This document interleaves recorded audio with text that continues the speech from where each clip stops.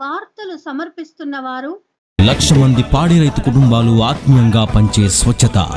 శ్రేష్టమైన కరీంనగర్ డైరీ పాలు పాల పదార్థాలు ఇప్పుడు మన రామాయంపేటలో.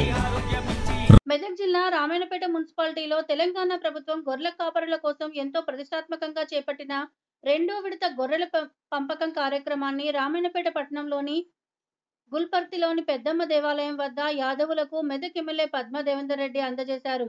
గొర్రెల కాపురుల కోసం ప్రభుత్వం పంపిణీ చేసిన గొర్రెలను లబ్ధిదారులకు అందించడం సంతోషంగా ఉందన్నారు.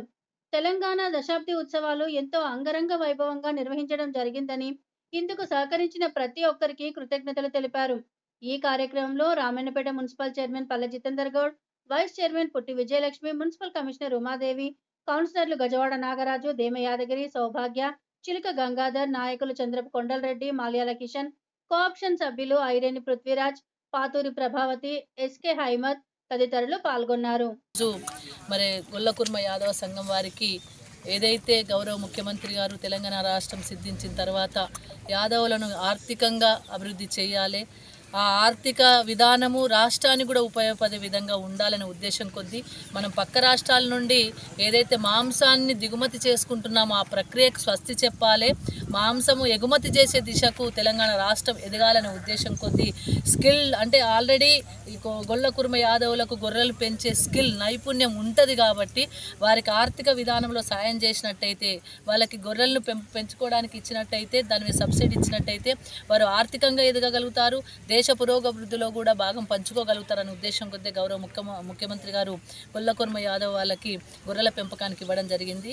దానిలో సబ్సిడీగా ఈ ఈ సంవత్సరానికి గాను లక్ష డెబ్బై ఐదు వేల రూపాయల యూనిట్ కాస్ట్ అయితే దాంట్లో దాదాపు నలభై మూడు వేల ఏడు వందల యాభై రూపాయలు మాత్రమే లబ్ధిదారులు కట్టుకోవాలి. మిగతా అంతా కూడా సబ్సిడీ రూపంలో గౌరవ ప్రభుత్వం నుండే గౌరవ ముఖ్యమంత్రి గారు చెల్లించడం జరుగుతూ ఉంది. మరి ఈరోజు రామాయణపేటలో ఇరవై నాలుగు మంది లబ్ధిదారులకు యూనిట్ కాస్ట్ లక్ష డెబ్బై ఐదు వేల చొప్పున ఈరోజు అందజేయడం జరిగింది. వారందరూ కూడా శుభాకాంక్షలు. మరి వాళ్ళు వాటిని ఆ గొర్రెల పెంపకాన్ని సమృద్ధిగా చేసి అంటే సక్రమంగా నిర్వర్తించుకొని దాని ద్వారా ఆర్థిక స్వాలంబన వారికి కలగ కలగాలని మనస్ఫూర్తిగా కోరుకుంటూ వారందరికీ శుభాకాంక్షలు.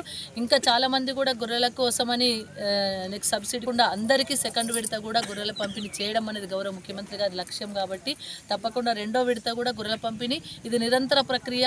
అందరికీ చివరి రెండో విడత కూడా చివరి యాదవులకు కూడా వచ్చేంత వరకు కూడా ఈ ప్రక్రియ కొనసాగుతూనే ఉంటుంది. అందరికీ కూడా గొర్రెలను ఇచ్చే బాధ్యత ప్రభుత్వానిది.